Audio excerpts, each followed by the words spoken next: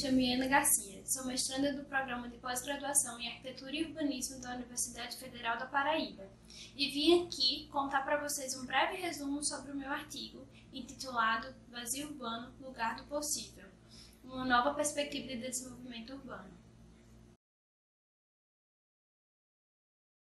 No decorrer dos percursos diários realizados nas cidades, é comum nos depararmos com espaços silenciosos, que se encontram vazios, seja porque não possuem nenhuma construção edificada ou porque apresentam edificações de um estado de obsolescência e abandono. Esses espaços são chamados de vazios urbanos. Os vazios são espaços que não desempenham função social na malha urbana, e que são o resultado de uma série de fatores devido à ação de diversos agentes, que tiveram papéis decisivos ao longo da formação das cidades contemporâneas. Embora os espaços vazios sejam vistos ao longo de toda a cidade, é possível notar a concentração desses exemplares nos centros antigos das urbes. No contexto nacional, isso se dá principalmente pelo processo de industrialização das cidades brasileiras ocorrido em meados do século XX que provocou uma expansão urbana acelerada, desnorteada e marcada por um padrão de ocupação periférico, com crescimento no sentido centrífugo, que resultou na migração da população das áreas centrais formadoras da cidade para as novas centralidades de desenvolvimento urbano. Em João Pessoa, capital paraibana onde se localiza o recorte espacial da minha pesquisa, ocorreu um processo semelhante ao visto nacionalmente, uma série de reformas urbanas iniciadas nas primeiras décadas do século XX, promovidas pelo Estado e impulsionadas pelo capital financeiro, acarretaram no processo de expansão da cidade para eixos outrora não explorados, principalmente em relação ao eixo leste, em direção à orla marítima, e ao eixo sul, onde foram desenvolvidos programas habitacionais da política do BNH. Esse processo desencadeou a perda significativa do contingente habitacional do centro da cidade, o que no decorrer dos anos fez surgir e consolidar os vazios urbanos nesse recorte. Todavia, ainda nos dias atuais, existem moradores nas áreas centrais da cidade, embora seja um número menos expressivo do que era visto no início do século passado.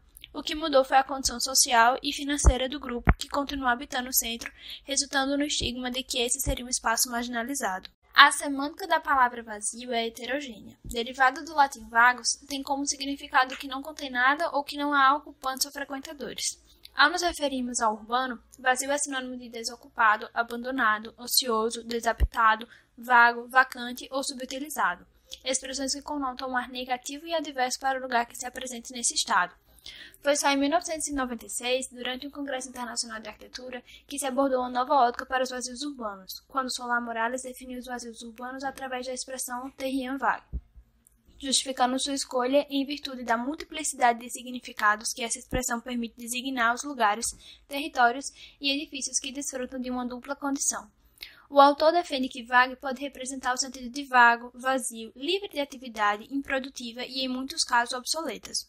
No entanto, vague também pode representar o sentido de impreciso, indefinido, sem limites determinados, com horizontes de futuro como lugar do possível, lugar capaz de modificar e reurbanizar o espaço intraurbano consolidado. A abordagem de forma positiva dessa problemática urbana possibilita a construção de um pensamento diferente do que é observado nos agentes sociais que atuam na malha urbana atualmente. Os terrien vague, ou vazios urbanos, passam de aspectos negativos de urbanidade para espaços com potencial de reurbanização e de desenvolvimento urbano sustentável, ideia também defendida por Mascaró, quando aponta que na discussão acerca da dispersão urbana, por que se estender e construir a cidade em locais fora dela, se existem vazios, ruínas e imóveis subutilizados nos centros. Os vazios urbanos centrais se encaixam perfeitamente nessa condição de desenvolvimento urbano sustentável por serem um estoque de glebas que não desempenham função social, mas que ficam localizadas em áreas que já possuem uma forte infraestrutura urbana e conectividade viária. Assim, é de suma importância destacar que as áreas centrais urbanas são localidades complexas e que requerem intervenções com abordagens específicas e respeitosas. Todavia, é inegável considerar a pertinência e a necessidade de repensar a narrativa de caráter negativo dos vazios urbanos, levando em consideração que a reinserção desses espaços no tecido urbano é uma maneira de interpretar uma cidade mais igualitária e sustentável.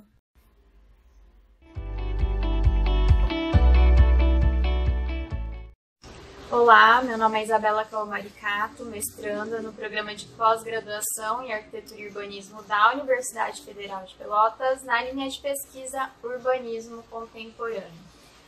O meu trabalho é intitulado A Terceira Paisagem no Processo de Construção de uma Outra Cultura da Paisagem Urbana. A terceira paisagem ela é um conceito apresentado por Gilles Clément em seu manifesto e ela é constituída de maneira fragmentada.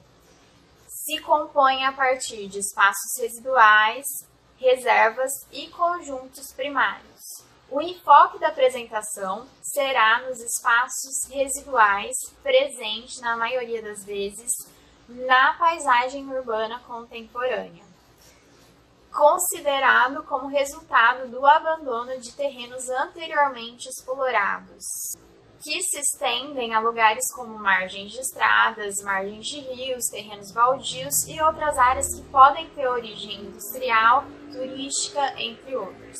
Na teoria proposta, a terceira paisagem ela existe ao incluir os processos naturais biológicos na formação da paisagem e busca a compreensão desses processos que são desencadeados após o abandono e propõe que esses territórios possam ser considerados como futuros locais de refúgio para a biodiversidade, a fim de garantir a preservação dessas áreas e fazer delas ação e pensamento para as futuras sociedades. A terceira paisagem, ela vem com uma provocação ao sistema de patrimonialização, com o intuito de contribuir acerca de novas possibilidades de gestão e preservação da paisagem cultural a partir de estratégias que valorizem essa especificidade da paisagem presente na cidade contemporânea. A partir da revisão da literatura, objetiva-se ampliar as abordagens do estudo da terceira paisagem em relação à paisagem cultural brasileira e criar instrumentos teóricos que auxiliem na construção de uma outra cultura da paisagem.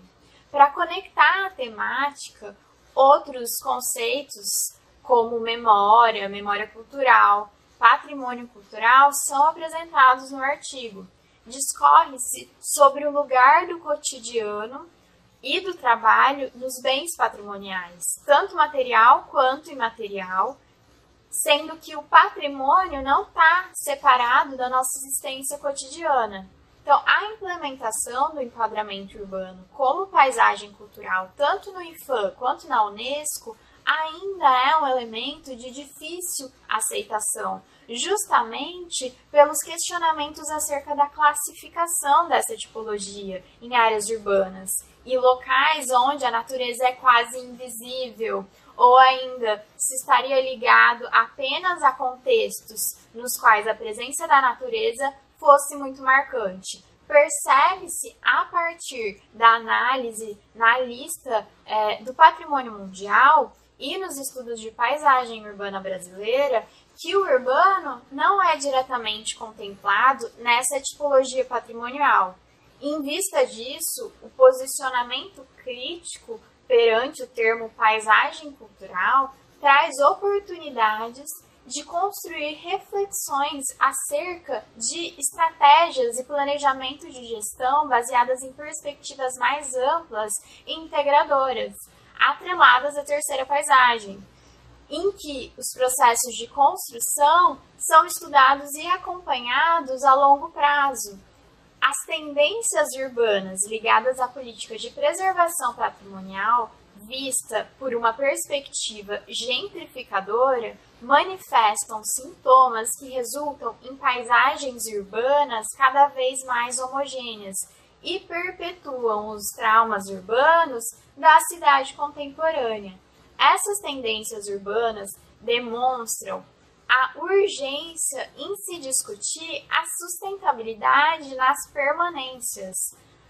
Por isso, assumir os inúmeros contrastes e pontos de divergência presentes na paisagem urbana e desenvolver um outro olhar sobre a paisagem cultural é romper o ciclo de permanência como finalidade e ressignificar o lugar de memória.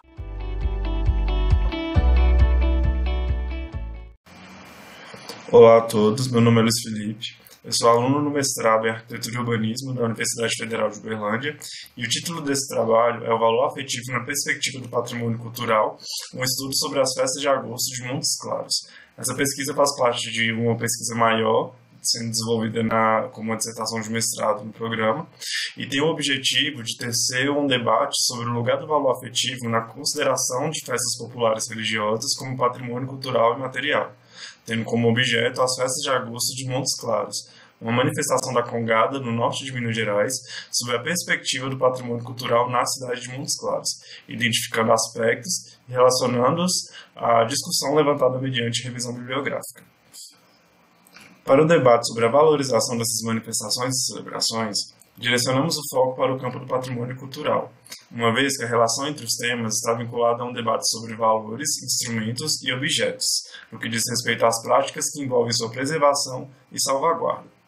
A ampliação e a inclusão de itens que vão além do material no universo do patrimônio cultural, que consta no artigo 216 da Constituição de 88, é ponto de partida para a discussão, uma vez que demonstra a presença de outros valores que vão além do excepcional, expandindo os critérios tradicionais que transitavam pelos órgãos de preservação. O Piano Bezerra de Menezes, em 2012, constata que a definição do valor cultural de um bem e seus componentes cognitivos, formais, afetivos, pragmáticos e éticos não devem ser considerados fatos isolados, pois coexistem entre si, gerando combinações e sobreposições. E dentre esses valores tem-se o valor afetivo, ao qual encontra-se difundido enquanto um dos parâmetros a serem observados no que diz respeito à elaboração e implementação das políticas públicas de preservação nas diversas instâncias, e cujo qual está diretamente relacionado à memória social e à identidade de um grupo e de uma cidade. Esse preâmbulo tem o intuito de direcionar o olhar para uma celebração do catolicismo popular na cidade de Montes Claros, em Minas Gerais, são as chamadas festas de agosto, que constituem uma manifestação da Congada e que ocupam as ruas do centro da cidade durante uma semana do mês de agosto, em homenagem e devoção a Nossa Senhora do Rosário, São Benedito e Divino Espírito Santo, pelos grupos, os chamados ternos, de catopês, marujos e caboclinhos. Em seus mais de 130 anos de existência, as festas acompanharam não só o surgimento da cidade de Montes Claros, mas também seu desenvolvimento e também influenciaram a transformação não só de seus espaços físicos, mas também a formação da cultura local, se tornando um símbolo representativo de identidade, memória coletiva e do patrimônio cultural da cidade. E os próprios elementos das festas podem ser considerados manifestações evidentes do valor afetivo pela comunidade, e na consideração das festas de agosto como patrimônio de Montes Claros. Um deles é o engajamento popular, que não se restringe apenas aos espectadores e consumidores das festas, mas como, como toda a organização e a iniciativa dos cortejos, que é feito pelos próprios habitantes da comunidade e que são os responsáveis pela realização dos reinados e do império. Outro elemento a ser destacado é o vínculo com o lugar, que está associado à origem da cidade e que carrega uma carga histórica muito significativa para os festeiros, uma vez que os cortejos percorrem as principais ruas do centro da cidade de Montes Claros e se concentram na Igreja do Rosário, que já foi alvo de diversas interferências pelo poder público, como sua demolição, perante uma onda de modernização da cidade, e as próprias restrições e estigmas da Igreja Católica, mediante as práticas e rituais nos espaços públicos. Outro elemento é a população flutuante, que se desloca de várias localidades do país, especialmente para participar dos festejos, para pagar promessas e prestar devoção aos santos homenageados nas celebrações. Atualmente, as festas ganharam visibilidade também pelo incentivo de políticas públicas que permitiram que a população de Montes Claros percebesse a ressonância dessas memórias. Pode-se dizer que as festas se tornaram locos de práticas populares tradicionais organizadas de toda a região. Alguns espaços da cidade de Montes Claros carregam rastros materiais e imateriais formados e representados para os sentidos afetivos, o que quer dizer que as funções sociais dos espaços ocupados pela festa, enquanto intervenção na ruptura do cotidiano da vida urbana, podem ser vivenciados e percebidos no âmbito temporal e espacial, justificando assim os aspectos pelos quais as festas de agosto podem ser consideradas patrimônio da cidade, apesar de atualmente não serem registradas. Aqui estão as principais referências e muito obrigado a todos.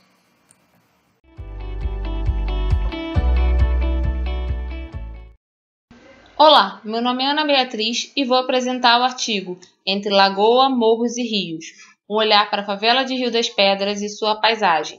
O presente trabalho é resultado de uma pesquisa de tese de doutorado com participação de pesquisadores voluntários de diversas universidades, como UF, UFRJ, Universidade Estácio de Sá e Politécnica de Madrid.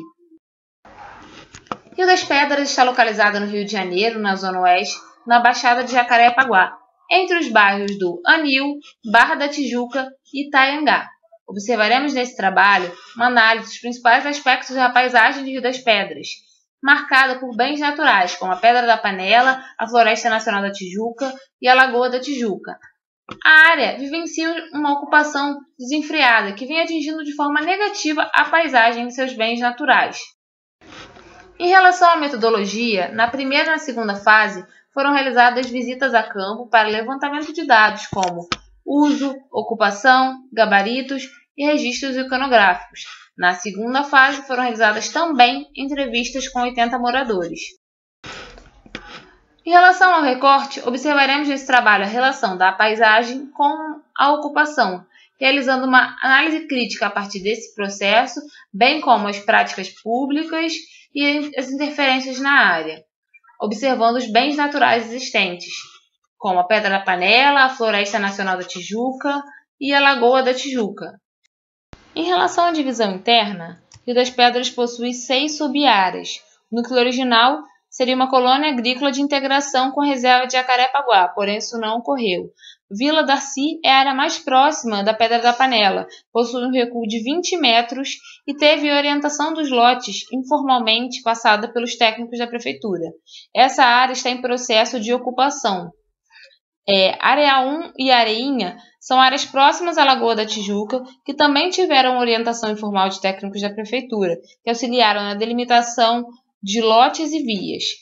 Areal 2 foi uma área desordenada e provisória, porém acabou se tornando definitiva. Em relação à curva do Pinheiro, destacamos que essa é a área de cota mais elevada e de melhores condições de solo, próxima à Floresta da Tijuca e à área formal de Rio das Pedras. Em relação ao histórico, aqui destacamos os principais marcos para a paisagem e para o saneamento ambiental. O plano piloto da Barra da Tijuca contemplava um gabarito limitado pela altura da Pedra da Panela. Isso não ocorreu nem na Barra da Tijuca e nem na favela de Rio das Pedras. Em 1983, tivemos o programa Cada Família um Lote, que propunha um aterro hidráulico em parte da área. O programa Profase da SEDAI, de 1986, trazia um sistema de esgotamento sanitário e uma elevatória em parte da favela, porém, os moradores ficaram responsáveis por levar o sistema para as demais áreas. O programa Favela Bairro, de 2002, propunha a canalização dos rios, reflorestamento e arborização. Um dos seus principais objetivos era instalar a infraestrutura, porém, apenas a área do núcleo original foi executada. Em relação aos meios naturais, destacamos que existe uma área de preservação ambiental e um tombamento da Pedra da Panela, bem como o tombamento da Floresta Nacional da Tijuca, porém os bens naturais vivenciam um processo de desfiguração e de formação de áreas de risco à vida. Existem ocupações irregulares e ocorrem de maneira desordenada. Não existe fiscalização. Destacamos aqui a curva do Pinheiro, no qual é uma faixa de alto risco de deslizamento foi destacada pela prefeitura em 2013 e atualmente inúmeras edificações foram construídas acima dessa cota. Nesse sentido, o cenário atual é marcado por uma ocupação em áreas de risco, com sistemas estruturais inadequados. É, a falta de delimitação da favela afeta os bens naturais do entorno. Inclusive, destacamos um projeto de lei de 2020 que buscava a modificação dos limites da área especial de interesse social, incorporando áreas do entorno da lagoa a esse, essa delimitação. Destacamos a importância da reurbanização e reflorestamento, além de assegurar novas bordas através de instrumentos de projeto como espaços públicos. A fiscalização e a regularização de edificações através de assistência técnica de interesse social, impedindo mais ocupações em áreas de risco. Além disso, é importante estabelecer um diálogo com a associação de moradores, de forma que a atuação e fiscalização perpassem as fases de projeto e entrega. Por fim, apresentamos nossas referências e agradecemos aos ouvintes participantes.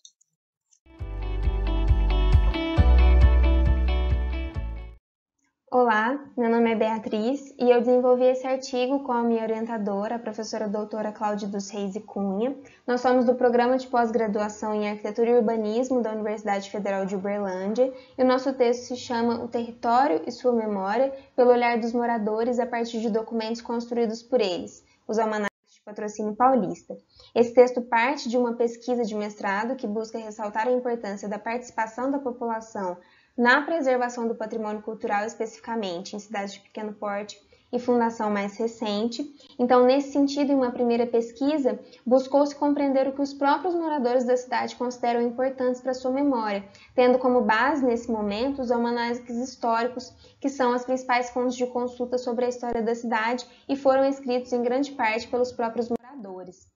A cidade de estudo é patrocínio paulista, que está situada no nordeste do estado de São Paulo e tem aproximadamente 14 mil habitantes. Sua fundação é de 1885 e está muito relacionada com as atividades do garimpo. Então, a gente vê que esse núcleo de fundação da cidade é, está muito próximo ao rio e à igreja matriz. O primeiro almanaque foi, é, é uma publicação de 1986, como comemoração do centenário da cidade. É descrito logo de início como importante para preservar a memória local, então essa publicação entendida como um arquivo da memória.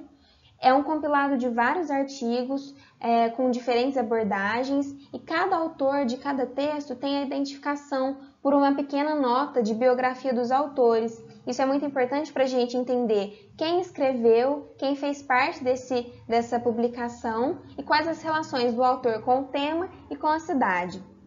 Algo a se destacar é a relação da cidade de pequeno porte com a zona rural. Então, nesse primeiro momento, principalmente, Há muitos dados da zona rural que são importantes também para a gente entender a evolução urbana nesse espaço-tempo. E é, destaquei alguns capítulos, como o Duralex, que faz uma análise do Código de Posturas Municipais de 1921, e o capítulo História das Vias Públicas Patrocinenses. E aí, nessa comparação, a gente consegue perceber o perímetro urbano em 1920, na década de 20, em comparação com 1985 e os dias atuais. O segundo almanaque é uma publicação de 2012, também é descrito como importante para preservar a memória local, e a maioria dos artigos são atualizações do primeiro uh, almanaque. Então, alguns novos usos que, que foram se desenvolvendo, e, mas ele é muito mais simplificado, muito mais objetivo e até o seu tamanho é menor. Nessa versão não há notas com a biografia dos autores, que a gente entendeu como prejudicial para ver, para entender quem estava narrando, quem estava contando a cidade. E não há um capítulo específico para o nome das ruas. Mas nessa atualização de novos usos, novos equipamentos, a gente consegue perceber novos bairros e também entender esse aumento do perímetro urbano. Nisso, a gente fez, é, com esses apontamentos, um mapeamento do que foi citado no primeiro almanac, em ordem numérica, que a gente vê aqui a legenda do lado direito, e no que foi citado no segundo almanac, em ordem alfabética. E a gente vê que a relação dos pontos no primeiro almanac era muito maior. Mas também um destaque aqui em, em marrom para o perímetro citado no Código de 1921, no Código de Posturas Municipais. Então a gente consegue entender essa evolução urbana. Bom, então aqui com o mapa com o perímetro urbano atual, a gente consegue comparar o que foi citado nos almanacs. O primeiro é, com essa achura mais sólida e com números, e o segundo com essa achura tracejada e com letras. Então a gente consegue entender, a partir do que foi narrado, a evolução urbana também. Então a gente tem como considerações finais essa compreensão do desenvolvimento territorial da cidade, a apreensão das seleções do que devia ser guardado naquele momento, a percepção da relação morador-cidade, quem foi que contou e qual sua relação com a cidade, e a relação de arquivos para memória, mas entendendo que o primeiro almanac teve publicações apenas em seu lançamento, então são poucos exemplares existentes, e o segundo almanac tem um acesso mais facilitado, ele foi publicado em formato digital, mas é, sua atualização muitas vezes não aborda pontos ainda muito presentes na memória da população. Então, é, a gente tem, após 35 anos da primeira publicação, que as motivações de preservar a memória são muito parecidas, pois elas partem da carência da continuidade de ações que possam guardar a história local, nesse caso, a partir da, da relação com a comunidade. Né? Então, aqui são as nossas referências. Muito obrigada pela atenção. Boa tarde a todos, meu nome é Daniel Gomes da Silva Filho, apresento o trabalho Fazenda São João de Tibriçá, abordagem acerca do patrimônio rural paulista com coautoria do orientador professor Dr. Aliraldo, ambos da Unesp e Campos de Presidente Prudente. Primeiramente, gostaria de ressaltar que este trabalho é fruto de uma pesquisa de iniciação científica iniciada pela FATESP e do meu trabalho final de graduação. No entanto, quando o artigo foi escrito, ainda não tínhamos os, os resultados e os produtos dessa pesquisa, no qual darei foco nessa apresentação. A apresentação foi organizada nesses quatro eixos. É, Para contextualizar, eu trago o café e essa importância que ele teve no estado de São Paulo, que essa cultura teve no estado de São Paulo. É, a cultura do café, na verdade, ela foi uma continuação daquilo que já havia sido é, feita no lado fluminense do Vale do Paraíba, e adentra a Vale do Paraíba Paulista em 1866, região de Campinas, posteriormente a Mogiane, com o avanço da ferrovia, atinge todo o restante do território paulista. A respeito da Companhia Agrícola de Periçá, foco do nosso estudo, ela implantava-se na zona rural de Galha, na, na região da Alta Paulista, ela era fruto do capital estrangeiro, foi adquirida em 1927 pela Brasília Wine Co. É, em 35 foi dividida em seções administrativas, na qual a Fazenda Santo Antônio de Tibiriçá foi eleita sede. É, em 52, com a queda do, da economia cafeeira, essa fazenda é vendida, ela é dividida, vendida, a, a sede é adquirida por um empresário local, é, depois disso, as pessoas vão se mudando, é, a, fazenda perde sua importância. Na década de 80, muitos edifícios, como a cinema, escola, teatro, eles passam a armazenar café porque não tinham mais os usos de antigamente. E no ano de 90, essa fazenda, com o falecimento do proprietário, ela cai no esquecimento, seus edifícios ou ruíram ou foram desmantelados para venda dos materiais de construção. Essa é uma implantação que eu trago, que ela foi feita no, com base numa imagem de satélite do ano de 2002, embora muitas fazendas já haviam sido perdidas nesse ano, é, dá para ter uma ideia de como se configurava essa, a implantação dessa fazenda, no qual contava com a Capela de São João, grupo escolar, cinema e teatro, é, colônias, casa de funcionário de escritório, casa de gerente fiscal, administrador, escritório, almoxarifado, garagem, tulha, casa de farinha, lambique, terreiros, e essa é uma, a implantação atual, né, no qual desse complexo arquitetônico pensaram apenas sete edifícios. Visto isso, é, foi muito importante a utilizar da inventariação para o registro e para a preservação, mesmo através da documentação desses, desse patrimônio. Né? Então, através do, da metodologia SIX de GIFAM, foram preenchidas algumas fichas de reconhecimento do patrimônio. E a, a partir da modelagem 3D, selecionou-se a Capela de São João, o edifício mais, é, mais importante do conjunto, para a realização desse inventário. É, então, a partir dele, foram poss possível elaborar plantas, cortes, renders, é, reconstruções virtuais, o qual eu exibo nessas imagens. É, dito isso, é muito importante também é, a gente discutir sobre outras formas de preservação do patrimônio. Por quê? É, só o tombamento ele não pode ser considerado como salvo-conduto do, do patrimônio. É, por exemplo, a Fazenda Conceição Paraibu, na sede do Sítio Mirim, embora salvadas pelo IFAM, e pelo Condefat não foram, é, não foram garantidas sua preservação, que hoje são ruínas. Dito isso, a, a, educação patrimonial, que faz com que é, o contato direto com as manifestações de cultura geram é, sentimentos de apropriação valorização, junto com o turismo rural, que vai aproximar essas pessoas desses, desses patrimônios, eles são usados hoje como método para preservação desses patrimônios. Exemplos como Monumento Nacional das Ruínas dos Engenhos de São Jorge dos Erados, lá em Santos, e a experiência da comunidade rural de Pedra Branca, em Minas. É, a respeito da fazenda São João de Tibiriçá, a transformação da paisagem, dessa paisagem no passado, né, que hoje é uma ruína, é, foram elaboradas algumas diretrizes para a preservação desse patrimônio existente, foi elaborada também uma página eletrônica, no qual todo o material é, elaborado durante a pesquisa foi disponibilizado via web, e também foram elaboradas, a partir de fotos, documentações, foram elaboradas reconstruções virtuais desses edifícios que hoje já não tem mais lá na fazenda. A partir da verdade realizada nesse trabalho, é, chegamos em algumas reflexões. Primeiro, que a salvaguarda dos patrimônios rurais ela deve ser realizada por políticas próprias, aliadas ao levantamento de material é, exaustivo, de material histórico, iconográfico, fazendo uso de recursos mais avançados para a catalogação desses bens. É, foi notado também a importância que essa companhia teve, teve para o município é, de e ainda tem, como os, os cidadãos ainda propagam sua, é, sua, história através da memória e da narrativa oral. E a capela de São João, ela meio que se transformou num símbolo para a cidade de Galha. É, representantes da administração municipal recentemente criaram uma comunidade no Facebook para apoiar o tombamento e o restauro. E nisso a nossa pesquisa é, ajudou.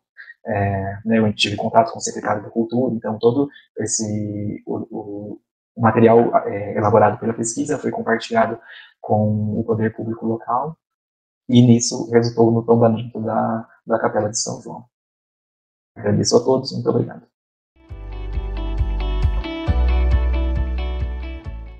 Bom, saudações a todos os presentes.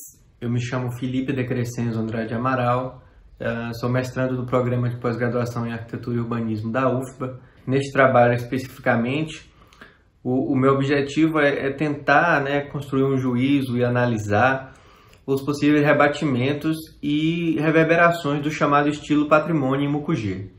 Né, Para isso, é, eu utilizei de um texto até bem conhecido no campo da preservação, né, que é o texto da Lia Mota, que ela difunde esse termo estilo, estilo patrimônio, ao mostrar, na verdade, como o IFAM ah, tratou a cidade no primeiro momento né, como uma obra de arte, né, tombando é, é, quase sempre pelo seu interesse artístico e de certa forma também reflete um, um certa, uma certa posição alheia né, da instituição as discussões italianas acerca da restauração que já ocorriam é, com uma intensidade enorme naquele momento. E o que a Liamota evidencia é justamente uma busca incessante né, pelo colonial. Então, ela trata especificamente do caso de Ouro Preto e ela mostra que, mesmo muitas vezes havendo uma predisposição dos técnicos é, em tentar evitar certas imitações, a grande demanda de casos acabou ocasionando a sedimentação de um conjunto de normas né, generalizadas, como o uso de janelas em guilhotina, beirais em cachorro, telhados em duas águas, né, e de certa forma é, é, a difusão dessa imagem tradicional acabou uh, se expandindo né, para além dos limites de Ouro Preto, né, uma prática acabou sendo sedimentada. Uh, e aí, nesse sentido, entra a cidade de Mucugê, que é o objeto do artigo. Uh, a cidade de Mucugê foi tombada em 1980, já também como um reflexo eh, da expansão que o campo da preservação sofreu uh, na segunda metade do século XX. Uh, e Mucugê consiste de uma arquitetura essencialmente vernacular, né, ou popular, como nós tratamos. É uma cidade construída na segunda metade do século XIX, oriunda da mineração de diamantes, mas que carrega todos aqueles padrões é, da arquitetura do período colonial, muito uh, é, trazida em grande parte pelos garimpeiros né, que vieram da, de, de, Minas Gerais para poder tentar a sorte nos garimpos baianos. Uh, então, Mucugela foi tombada em 1980 e o que nós entendemos é, como necessário né, é, é um diálogo maior para que a preservação dessa arquitetura possa se dar é, de forma global, preservando não só a sua materialidade, como também as técnicas, os saberes, né, que são reflexos dessa cultura popular. Enquanto isso não acontece, a forma como o IFAM é, age sobre determinados conjuntos acaba, por vezes, alterando as lógicas de produção dessa arquitetura e uh, acarretando também a criação de cenários urbanos. E aí é nesse sentido que há uma certa reverberação né, desse estilo patrimônio, acredito que eu em, em, vários lugares do país, mas especificamente em Mucugê, que foi o nosso objeto de análise. Então, para isso, procuramos fazer análise baseada na comparação né, de fotografias pré-tombamento e de fotografias atuais, bem como nos processos de intervenção uh, de posse do IFAM, né, nos processos em que, que foi dada entrada no IFAM. Então, a partir dessas, dessas análises, desses processos e dessas edificações, mais especificamente de três edificações, ficou claro para nós que isso é uma conduta ainda recorrente, mesmo é, 30 anos né, após o texto da Lemota. Mesmo que muitas vezes não por influência direta dos técnicos, mas por uma certa apropriação, como já ocorria em Ouro Preto, é, dessas normas pela população. Então, uma série de menções ao dito estilo colonial da região, nos processos, né, o estilo tradicional da região, uma recomendação, né, muitas vezes uma imposição que se siga um certo estilo arquitetônico da cidade.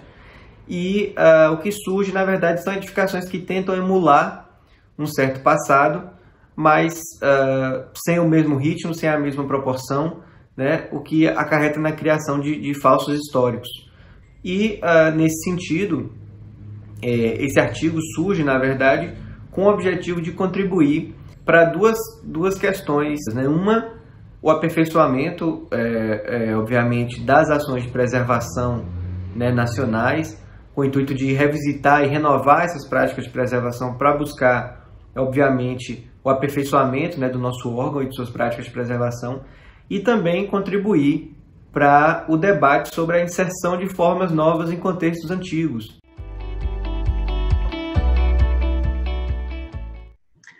Olá, eu sou Ana Luísa, faço parte do mestrado acadêmico do Programa de Pós-Graduação em Arquitetura e Urbanismo da Universidade Federal da Bahia.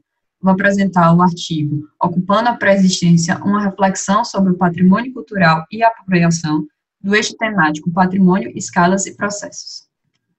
O conteúdo desse artigo é um recorte de um referencial teórico-metodológico que alimenta uma pesquisa de mestrado que tem por objetivo produzir conhecimento sobre o espaço vivido e o espaço construído, através da investigação de moradias e edificações antigas situadas no Centro Histórico de Salvador, identificando quem são as e os moradores e o modo como os mesmos adaptam, transformam e vivem, problematizando as condições das edificações que habitam, bem como enfatizando as práticas construtivas de adaptação, de manejo e salvaguarda nesses espaços preexistentes.